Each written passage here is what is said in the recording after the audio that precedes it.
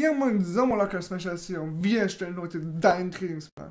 Ich zeige dir, wie du deinen eigenen Trainingsplan erstellen kannst. Das Ganze an sich relativ einfach. Wenn du deinen Trainingsplan erstellen willst, musst du dir als erstes überlegen, was willst du erreichen? Was ist dein Ziel? Über das nächste Jahr, die nächsten sechs Monate, zwei Jahre, was auch immer. Was ist dein Ziel? Willst du Muskeln aufbauen? Willst du Fett abbauen? Was willst du tun? Das musst du erreichen. Das musst du wollen. Das ist dein Ziel für die nächste Zeit. Und wenn du dir dieses Ziel aufgeschrieben hast, dieses Ziel hast, dann trägst du das in den Plan ein. Dann gehst du hier oben her und setzt dein Ziel ein. Nachdem du hier erst deine Angaben gemacht hast, trägst du dann hier dein Ziel ein. Jetzt musst du dir aber überlegen, wie kann ich dieses Ziel erreichen? Sehr wahrscheinlich, weil du hier auf einem Fitnesskanal gerade bist, durch Krafttraining oder Ausdauertraining. Ich weiß nicht, was du erreichen willst. Wahrscheinlich aber durch Kraft. Sehr wahrscheinlich. Da musst du dir überlegen, wie oft kannst du trainieren? Wie passt für dich in deinen Zeitplan? Wie oft kannst du trainieren? Kannst du zweimal die Woche trainieren? Dreimal die Woche? Viermal die Woche? Keine Ahnung. Und dann gehst du auch wieder in den Plan und trägst es dort direkt ein. Dann gehst du her und trägst hier ein, wie oft kannst du trainieren. Dann mal zweimal die Woche 60 Minuten. Fangen wir das mal ein. Zweimal pro Woche 60 Minuten. Und wenn du dir jetzt überlegt hast, wie du dein Ziel erreichen kannst, wie oft die Woche du an deinem Ziel arbeiten kannst, wie du auf dein Ziel hinarbeitest, solltest du dir jetzt überlegen, nachdem du dir dein Ziel gesetzt hast, welche Übungen machst du. Du stellst deinen Trainingsplan. Gehst jetzt her, gehst mit mir in die Vorlage, die übrigens als Download verfügbar ist. Link dazu unten in der Beschreibung, ist ein Word-Dokument. Wenn ihr aber kein Word habt oder so, könnt ihr auch einfach Google Docs benutzen. Das mache ich ja hier auch gerade. Das ist auch gerade in Google Docs. Und da könnt ihr das Ganze dann anschauen. Dann musst du dir überlegen, du letzte Wiederholungen machst du. Ich würde das erstmal offen lassen, dir eine Vorgabe dazu geben, weil du kannst es dann unten bei den Übungen machen. Dann musst du überlegen, wie hart bist du am Trainieren, wie lange sollte deine Satzpause sein. Wenn du das überlegt hast, tickst du hier ein, keine Ahnung, trainierst beispielsweise jetzt mal in einem niedrigen Wiederholungsbereich hast, du eine längere Pause, dann sagen wir mal, du machst 120 Sekunden, also 2 Minuten Pause oder 3 Minuten 180 Sekunden Pause. Dann solltest du überlegen, welches Timing willst du machen, wie willst du die Übung selber machen, willst du eine starke Negative haben, willst du einfach ganz normal machen, willst du eine lange Statik, also viel Halten drin haben, musst du dir alles überlegen. Wir machen jetzt einfach mal Standard. Das wäre 202.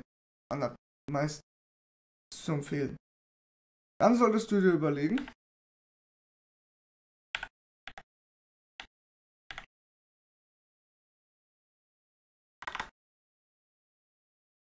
dann, da du jetzt weißt, wie oft du trainierst, weil wir das ja hier oben festgelegt haben, bei dem Fall zweimal die Woche, solltest du hergehen und sagen, gut, ich nehme hier diese Tabelle, meine Übungen und kopiere mir die so oft rein, wie ich sie brauche. So wie jetzt zweimal. Gut. Mache ich hier noch Tag B draus, habe ich Tag A, Tag B. Hast du dir ein Ziel gesetzt. Dann gibst du hier deine einzelnen Muskeln ein, welche Muskeln du machst und so weiter. Und beispielsweise an dem Tag, keine Ahnung, machen wir Oberkörper. Und an dem Tag machen wir Unterkörper. Ich würde dir empfehlen, hier das einfach ein bisschen genauer aufzuschreiben, wie Rücken, Schulter, Arme, sowas.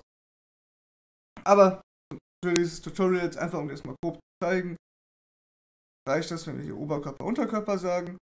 Und dann gibst du deine einzelnen Übungen an. Also hier Übung 1, 3 Sätze, 10 Wiederholungen. Übung 2, ah, machen wir 4 Sätze, vor nur 6 Wiederholungen. Übung 3, 3 Sätze, auch 6 Wiederholungen.